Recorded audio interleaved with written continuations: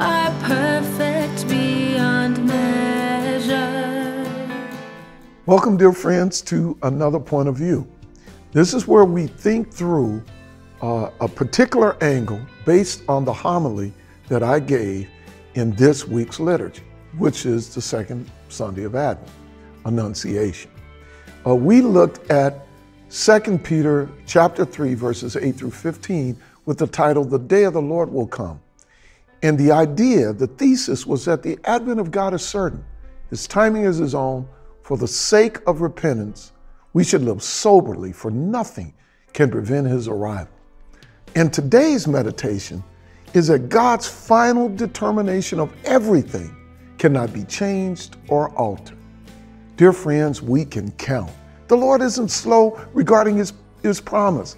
He is going to fulfill everything he said in his own time, in his own way. The day of the Lord will come.